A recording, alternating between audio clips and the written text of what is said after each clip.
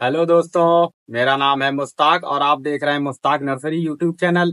आज हम आपको बताने वाले हैं जेड प्लांट की बॉन्साई। आपने देखी होंगी, बहुत से तरीके की आती हैं और एक चेक एक खूबसूरत बॉन्साई बन जाती हैं इसकी। तो आज हम प्लांट आपको बताएँगे कैसा लेना चाहिए अगर बॉन्साई आपको बनाना है। ठीक है? देखिए, ये हमारे पास काफ़ी सारे प्लांट्स रखे हुए हैं जेड प्लांट के। तो इसमें से, देखिए, एक तो ये है किसी भी नर्सरी आप अगर जाएँ लेने के लिए तो इस टाइप से ही खरीदें, जिसकी मोटी स्टिक हो नीचे से और इस तरीके से जड़ें निकल रही हो। है ना? तो एक ये ले लेते हैं और देखते हैं एक आध। ये तो हल्का है आपका। ये भी थोड़ा ठीक लग रहा है। और चलिए, ये मिल गई। ये ले लेते हैं। काफ़ी अच्छी है। है ना? तो दो ले लेते हैं। हम हम इन दोनों को लगा करके बताते हैं आपको, और सॉइल कैसा होना चाहिए वो भी बताते हैं। लास्ट तक वीडियो में बने रहिएगा। हाँ तो दोस्तों, हम आपको बताते हैं सबसे पहले पॉट कैसा होना चाहिए। ये देखिए, ये पॉट इसकी ऊंचाई तीन इंची की है, ठीक है? इतनी ऊंचाई होनी चाहिए, इस तरीके से बॉन्साई ट्रे ले लेनी है आपको। किसी भी नर्सरी में आपको मिल जाएगी, और इस तरीके से छेद पूरे खोल लेने हैं। काफ़ी सारे इसमें छेद बने हुए आते हैं, इनको खोल लेना है आपको, ठीक है? चलिए तो पॉट हो गए। अब ये देखिए हमने ले ली है ये तादा मिट्टी ठीक है? और ये रेड वाली मिट्टी है जो लोग कहते हैं इसको निकाल देना चाहिए पौधे से और आ, अपनी मिट्टी में लगाना चाहिए तो हमने ये वाली मिट्टी भी ली है ठीक है? और ये ले ली हमने वर्मी कंपोस्ट। और इसमें थोड़ी सी कोकोपीट भी हम ले लेंगे ये देखिए। तो ये हमने चारों आइटम बराबर बराबर ले लिए हैं ठीक है? तो इनको चारों को एक ही में मिक्स कर लेंगे।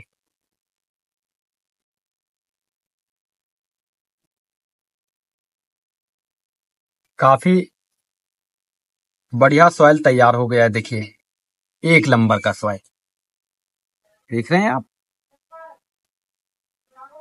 ये इसी तरीके से आपको सॉइल बना लेना है। महँगी से महँगी बॉन्साई आपकी तैयार हो जाएगी घर में ही।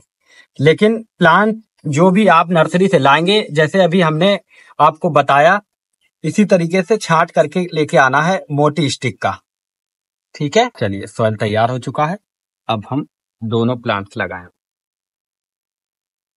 छोटी छोटी गिट्टियाँ भी ले सकते हैं, आप इस पे बड़ी थोड़ी सी भी रख सकते हैं। हमने छोटी छोटी ले ली है।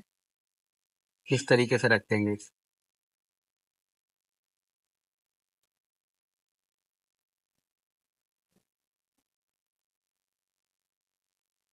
बॉन्साई जेड प्लांट की किसी भी मौसम में खराब नहीं होती है। और हमेशा याद रखना है आपको, जेड प्लांट गमले में लगा हो या आप बॉन्साई बना रहे हैं, ऐसी जगह रखना है आपको जहाँ पे दो से तीन घंटे की धूप आती हो। बहुत लोग कहते हैं ना, बॉन्साई इंडोर में रखी जाती है, इंडोर में नहीं रखना है आपको, इंडोर में खराब हो जाएगी। दो से तीन घंटे की धूप मिलना बहुत ज़रूरी है, तभी अच्छी ग्रोथ होगी और आपका पौधा हेल्दी बना रहेगा।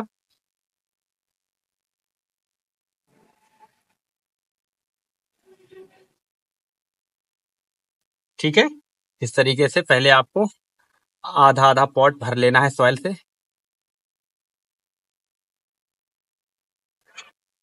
चलिए, अब हम प्लांट की पोली बैग हटा देते हैं। ये देखिए, इस तरीके देख रहे हैं रूट्स कितनी अच्छी हो रही हैं इसकी। अब इसकी थोड़ी सी मिट्टी हम कम कर देते हैं। ये देखिए, इस तरीके से मिट्टी हटा देनी है। पूरी नहीं हटानी है थोड़ी सी हटाएँगे। ये देखिए। कितनी हेल्दी हो रही हैं इसकी रूट्स ये अब जैसे, ये देखिए, तीन रूट्स हैं बड़ी बड़ी ये। तो इनको क्या करना है आपको? इस तरीके से फैला देना है। ये ये ठीक है? अब रख देना है।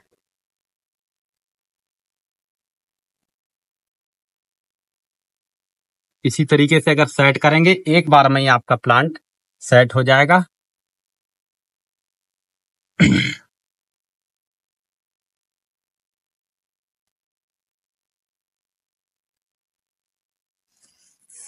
कोई सा भी प्लांट अगर आप नया लगाते हैं अपने पॉट में तो उसमें लगाने के बाद आपको पानी ज़रूर देना है। चलिए अब दूसरा प्लांट ले लेते हैं।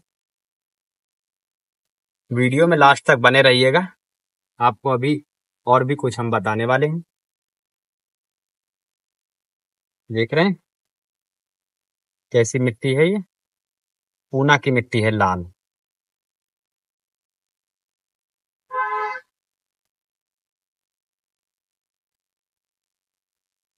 देख रहे हैं, इस तरीके से जड़ें फैला देनी है।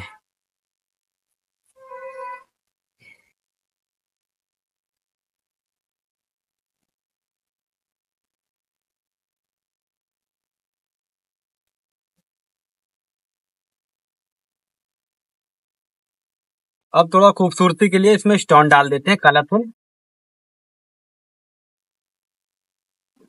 इस तरीके से अगर आप लगा हुआ, किसी भी नर्सरी से लाएँगे तो आपको कम से कम ढाई सौ, तीन सौ रुपए का मिलेगा, है? है ना? ये हमने सस्ते में तैयार कर लिया है। करीब डेढ़ सौ रुपए की लागत है, समझ लीजिए। ठीक है? हो गया? अच्छा स्टोन से एक फ़ायदा भी ये है कि अगर आप पाइप वगैरह से भी अगर पानी देंगे तो इसमें इसकी जड़ें नहीं खुलेंगी क्योंकि पत्थर, ये जो स्टोन डाले हैं हमने स्टोन से जड़ें नहीं खुलेंगी। अच्छा एक चीज़ और हम आपको बता देते हैं। इसमें जैसे किसी चीज़ का मिक्सचर वगैरह या कोई सी खाद वगैरह आपको जब डालनी हो तो स्टोन हटा करके तब आप इसमें डाल सकते हैं उसको। और ज़्यादा इसमें आपको खाद डालने की ज़रूरत नहीं है। जैसे कि बॉन मिल है जिप्सम पाउडर है फुटास वगैरह है थोड़ी थोड़ी डालनी है, कोई ज़्यादा इसमें जगह भी नहीं है इतनी और इतना ज़्यादा मांगेगा भी नहीं, ठीक है? और इसमें ज़्यादा कोई आपको केयर करने की ज़रूरत नहीं है। ये जो ये जो, ये निकल रही है इसमें ब्रांच, ये ज़्यादा लंबी हो जाती है तो आपको कटिंग करते रहना है, ठीक है? कटिंग जब ही करनी है, जब ग्रोथ का टाइम होता है, जब पत्तियाँ नई नई निकलती रहती हैं, उसी समय करेंगे तो ब्रांच भी ज़्यादा आएँगी और आपका पौधा भी हेल्दी रहेगा, ठीक है? ये थी छोटी सी जानकारी जो हमें आपको देनी थी। वीडियो अच्छी लगे तो लाइक करिए और हमारे चैनल पे आप नए हैं तो चैनल को सब्सक्राइब कर लीजिए। इसी तरीके की नई नई जानकारी और नए नए प्लांट्स के बारे में हम आपको बताते रहेंगे। ठीक है दोस्तों, मिलते हैं अगले वीडियो में।